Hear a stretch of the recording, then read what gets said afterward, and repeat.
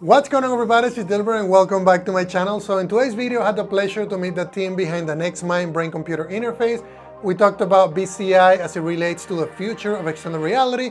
Also, what kind of use cases can we solve today with BCI? What can we solve tomorrow? What kind of technologies are comparable to BCI? And also, what kind of level of development skills do you need in order for you to start developing with BCI? So I want to invite you to an interview that I did with them today, and I hope you enjoy it as much as I did making it. Uh, why are you so passionate about XR? And why did you teach XR development? Getting into extended reality was uh, one of those things that I, I didn't choose. I started teaching game development a couple of years ago, and a lot of a lot of people in the community know that I love making little games and it wasn't until Apple actually released ARKit that I started playing around with ARKit, and I'm like, oh, I can actually have something augmented, you know, through by using AR. And I think you're seeing that you can have another reality and having awareness of another reality. Uh, you know, now using lidar things like that. I was just too passionate about and you know getting into virtual reality too. I work for a company called The Void, and they put me a VR headset and I, it, it was basically a simulation and they had fans going on they had the temperature was changing. So i was standing on the top of the mountain by using a vr headset but i was sitting in a room and like being able to see that extended reality uh, can add to our realities i think it's you know i think is the future and i think you know I, I wanted to teach that to a lot of people. That's very nice and i i definitely can agree with you with like the fact that when you're using the VR headset, it like takes you to a different world.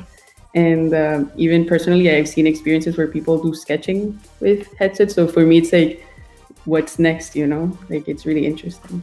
Mm-hmm. Um, since you've been in the VR community for a while, you've probably seen a lot of tech and trends come and go. Uh, what makes BCI so special for XR? Yeah, no, I, I think uh, when I when you guys reached to me about Next NextMind, I have already been reading a lot about Next NextMind and uh, uh, just thinking about use cases such as you know people that are disabled, people that can't communicate. I love sci-fi and I know that that is coming. I love like extraterrestrial type things. So uh, I, I, think a lot of that might seem like a lot of sci-fi, but I think I think that's the future. Like if we can use you know how we went from talking on the phone most of the time to then texting. Uh, a lot of people see that with a with kind of like a negative thing, but I mean we're, we're in such a in a world that is moving so fast. So I can see BCI for you know being able to communicate more that we you know that we're normally doing. So it's it's amazing that you can you know you, you can read the mind and then and then be able to transfer that to the to the screen like being able to turn on the tv being able to you know you know talk to somebody all, all, all, around you without actually communicating i think i'm really excited about that. Yeah for sure. And since you mentioned that you've already heard about nextmind and you see like the development of like going from your phone to like texting did you see bci something that was coming?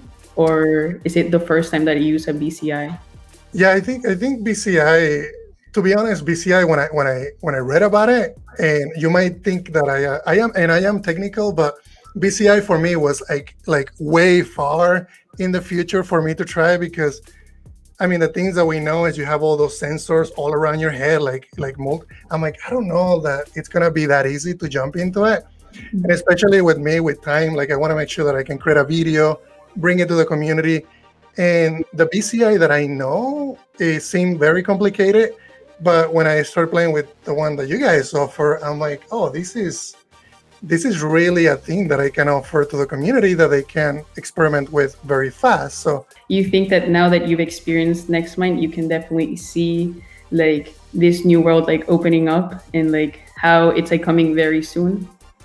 Yeah, uh, I, I think my head uh, started spinning around when I mean just just by getting a confidence value, uh, and I know that we're, we're, we we will talk about some other things in eye tracking, but just being able to get a confidence value and being able to to go through a calibration process and and know that I can use those values in, in so many different use cases. Like, and you guys make it so easy because it was just drag and drop components so I I am really excited about BCI. I didn't see it before, but now with like I said, with the usability of it, and then also how light it is on, on the back and uh, you know being able to use it with the Oculus Quest. It's it's also I think a great thing because uh, you're not really tied to only VR, but you can also use it for you know for daily people that don't you they're not into VR, but we can slowly get them into VR.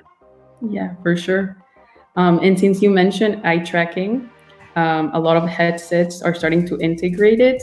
Um, and you're probably familiar with them. Can you describe the difference that you felt like between using eye tracking versus uh, the BCI with NextMind? Yeah, that that is uh, that's interesting because I had a few people comment that and they're like, "Well, why don't you just use eye tracking? That that's the same thing." And and I mean, at first when I jump in, I'm like, "Yeah, to a certain point, it can it can do similar things, but." as I started using it more and more, uh, eye tracking to me was more more direct. It was, you know, you're looking at something and then you know it's basically focused on that specific game object on that area. With the NextMind, I felt like I had to. It was more of a, you know, you had to concentrate. You're you're basically. Uh, the, the more you concentrate, the more that you look at an item, it just feels more more organic versus something that you know it's just a point right at a specific place. Mm-hmm. so I, I, don't like the technicality of it. I read a couple articles about it but to me i felt that it was more immersed to use the you know bci versus use eye tracking. That's awesome. So you, you feel like eye tracking is more passive and our device is active I felt like the I, felt like the, the the solution that you guys offer it, it feels like it's more like active like it, I felt like it was more accurate in many times. I also I, I, I really like and you know getting into the SDK that I was able to get a confidence value versus you know if I'm using eye tracking it's just a number one. If I'm using if I have a confidence value there's a lot more experiences that I can build with getting a confidence value into Unity that I could if I just get right true or false. I'm looking at that. And then like the on release, the on trigger, I think it gives me a lot more granularity over what I can do in games versus what I can, you know, could do with eye tracking. Do you think BCI tech will be used going forward in XR? Do you have any ideas or like potential use yeah. cases or um, have you thought about what's the future for this? Yeah, no, I, I have a list of ideas, and a lot of these ideas came from you you know being able to try the technology and, and being able to make videos. So when i when when we get when we guys talk and like okay what kind of video can i make? What kind of cool and you know one of them was uh, the the bci with with locomotion. So NextMind with locomotion was was one of them that i thought was interesting and i i mean that, that is in the game one interesting use case is being able to look at different areas and and control the movement on a headset uh, based on you know how much you focus. Uh, I also thought about using BCI for you know simple UI interfaces. I mean, you look at Minority Report and the guy is like moving around and selecting different menus and I mean, a lot of those experiences they're using hands. Like I, I think BCI could also play a big role into you know helping with user interfaces and especially with people you know that, that need help with that kind of thing. Uh, uh, i think and, and, I, and i would mention this i mentioned this before about it's not only for disabled people but people that can talk people that you know, i mean don't have hands. Like you're giving them hands. You're giving them all that all the tools that they don't have right now. So i think that is uh, to me that is a huge win as well. So do you definitely see bci and xr merging at some point in the future? Yeah i think i mean i i can see how i mean how we're integrating right now eye tracking into a lot of devices hololens 2 has eye tracking built in. It's it's pretty powerful. You know the the many devices have it and and right now I, I see it as an accessory. And when you guys ask that question, I'm like, yeah, that it's going to be something that is part of the device at some point. I want you guys to be in business, but I want you guys to be, you know, the that it's your technology that is incorporated into, you know, Oculus devices, into you know many different of the Vive devices. So yeah, absolutely, I see that merging at some point. So yes, I have a second list of questions. Um, first one is tell us a bit about how the experience when went uh, for you when you started playing with the SDK? And did you get started right off the bat? Did you play with simple scenes, watch tutorials, etc.? Yeah, getting started into your SDK, uh, I'm gonna be honest, I was really scared, but but I'm scared about many things when it comes to uh, as a developer. We're, we're all like that, right? Like at the beginning, it's like, whoa, this is all this new thing, and then you add BCI to it, and it's a little bit more scary. But then, yeah, I, I, went into your your website, you know, went into developer. Uh, I look at your uh, SDK. I downloaded it. I mean, you guys have everything set up in a way that I was able to just follow the step by step, you know, instructions. Downloaded it, uh, got it up and running in Unity in, I mean, less than five minutes. Then I just needed to know how to use the device, how to connect it, how to calibrate it, and the the walkthrough of the calibration process basically tells you what to do and so it was really easy to to to get into the you know the device so i think for beginners like it, the, there's not really a, much of a challenge other than you know getting to know unity and then once they know unity it's you know following the instructions on the developer area is developing for xr with the next nextmind tech uh, doable for beginners even if they're new to unity and what would be their biggest challenge starting out? Is XR Nextmind doable for beginners? Uh, you know, definitely it's doable for beginners. The the biggest challenge that I found when getting into Nextmind and just putting myself on the beginner shoes is, you know, like I said, make sure that you are familiar with Unity. So getting getting intro, an introduction to Unity, either by looking at my videos or by looking at Unity Learn, it will be will be a big you know a big win because when you jump into Nextmind, the some of the components that they offer, the inspector options, the neurotag, the MonoBehaviour, some of that wording you're gonna get if you get into you know the, the beginning of Unity first, and then jump into Nextmind. But for the most part, I you know if you have C sharp knowledge, if you get basic C sharp knowledge and you get basic Unity knowledge, I think jumping into Nextmind is completely doable for beginners. So, uh, what's your goal behind making this tutorial series? And what advice do you have for XR developers just starting out? Yeah, what's my goal for making this tutorial series for Nextmind? That is, my goal was, you know, to bring another possibility to extend the reality developers. We, you know, we a lot, a lot of us are just focused so much on specific technologies, and I think the goal for me, you know, in general for the channel is to offer other possibilities for different use cases. So if people are using eye tracking today, or if they're using hand tracking, are there other ways that they can they can interact with the world in you know with BCI, and, and also letting the community know that it's it's not as complicated as it as the word sounds, because Nextmind made it easier for developers. So that was kind of my goal is a walkthrough the, of the entire process uh, and I'm going to keep experimenting with that. I'm going to keep experimenting with different prototypes so that, you know, this tutorial series becomes something that people go to and, and it can open, you know, more possibilities for, you know, for use cases in the industry.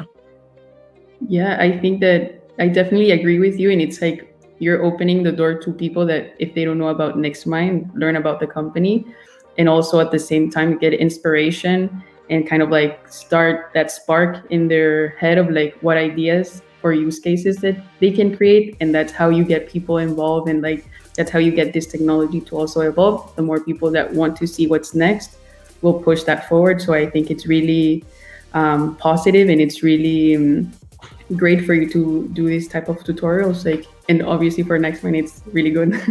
So thank you so much. Yeah no no worries. I think it's it's like one of those things that you don't see it until you try it. But if I'm trying it and I'm showing it, you're like, then it clicks, right? You're like, oh, BCI, uh, what can I do with BCI? And I think you guys showing me what it was possible through the, you know, example scenes, you know, the walkthrough that you have where you show the TV and you can change the channel. And it's like it gets you thinking about, oh, I can do, I can do that. And so that was kind of, kind of like the goal is okay, what possibilities, uh, what use cases we can solve with using this technology. So I appreciate it. Win-win. yeah, yep. Do you have a lot of people in your community uh, giving you examples of what you could do, uh, like uh, new use cases or something? Yeah, I, I normally get uh, you know people asking me questions about BCI. There, uh, I, I get questions and also concerns about well, we can do this with, like I said before, with eye tracking, and you can do. But I think it's the education piece, like educating them of what different ways. Uh, so far, I haven't really gotten. I'll have to go back to my comments. Uh, use cases specifically that people want to solve is more like me trying to find those use cases so that they I can open their eyes. But I'm sure once people start getting more into the tutorials, their brain is going to start generating a lot of different ideas. So yeah, I think I think that's coming. So now let's talk about the, your future. After this tutorial series, do you have any future projects planned for using NextMind or any BCI tech in your development? Or any other upcoming tutorial series for developers planned? Yeah, no, that is so. If I have future plans for using NextMind in my future projects and also in the in the channel, uh, definitely. I I've been thinking about that a lot. I'm going to keep adding more videos. Uh, you know, as on my daily, as I get questions from the community. A lot of times, like you asked me before, does the community drive some of the videos, the use cases for NextMind? Absolutely and and I'm sure that BCI will be one of those. One of them that I can think about right now is if you're using your phone and you're using augmented reality. Right now, because we don't have glasses, we have to hold the phone when we're using augmented reality. And the I can't just if I want to touch something, I can't just use my hand. I mean, hand tracking is not fully incorporated unless you use third parties. The one cool use case will be to use BCI next NextMind to to interact. Like, wouldn't that be cool that you can, you know, use augmented reality and still be able to interact with the world by, you know, by using augmented reality? I think that's something that you know it's will be interesting for me. Just trying how BCI NextMind will work with augmented reality because I haven't I haven't seen anything like that yet. So I think that to me, depending on the first video, uh, as I as I build it, I, I think I'm gonna have I can see I'm going to have a series of videos with augmented reality and BCI. That's so. exciting to hear. Yeah. Yep. Um, and for that series, so you that was something that you would be planning to do, or have you started on it, or it's something that it's kind of like a, an idea that you have as of now? Yeah, I I keep I normally keep a backlog of ideas. Okay.